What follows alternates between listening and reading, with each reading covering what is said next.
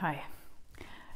Ja, kommen wir nochmal zum Thema Verladen und Sedieren. Ich hatte da ja schon mal ähm, vor einiger Zeit ein Video zu gemacht.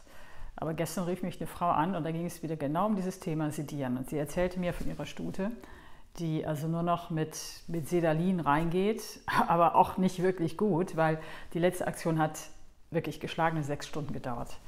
Und ähm, sie sagte, das Pferd war wirklich doppelt und dreifach abgeschossen. Also so, als damit hätte man Elefanten betäuben können. Sagt sie aber trotzdem, es hat ewig gedauert, der Widerstand war extrem groß.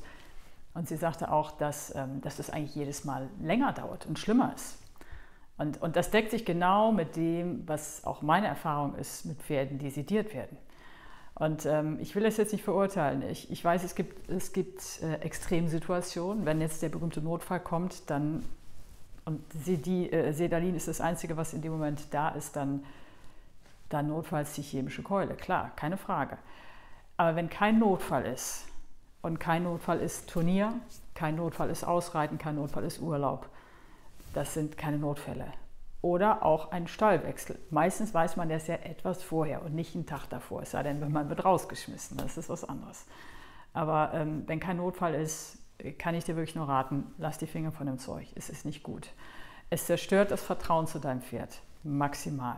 Weil du musst dir Folgendes vorstellen, dein Pferd wird mit, diesen, mit diesem Cocktail in, in so einen Dämmerzustand versetzt.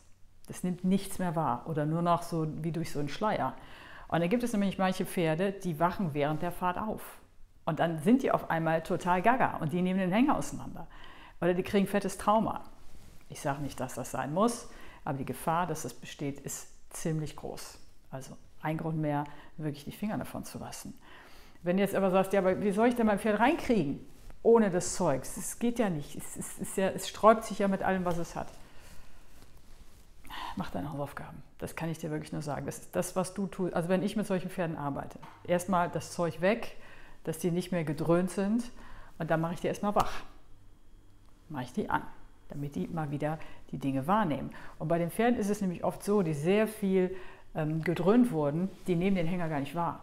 Und auf einmal, wenn die mal wieder normal sind, also nicht auf Droge, dann sehen die das Ding zum ersten Mal. Dann sehen die die Rampe, dann sehen die den Innenraum, dann schnüffeln die und, und dann fängst du erst an, mit dem Pferd wirklich zu arbeiten. Dann fängst du erst an, mit dem Pferd zu kommunizieren. Und dann wird es wirklich interessant und dann wird es spannend. Und es gibt Pferde, ich habe es schon so oft erlebt, da machst du das ein, zwei Mal und dann ist das Ding durch. Weil die haben einfach nicht gelernt, nachzugeben vom Druck. Das sind immer die gleichen Prinzipien sorg dafür, dass du, dass du eine, eine stabile Verbindung bekommst vom, vom Strick zu den Füßen. Pressure Release, ich habe es schon so oft erwähnt, aber das ist das, was du brauchst. Aber du brauchst ein waches Pferd und kein benebeltes Pferd. Also das sind nochmal meine Gedanken zum Thema ähm, Betäubung, Sedieren. Bitte mach es nicht, es sei denn, du hast einen Notfall.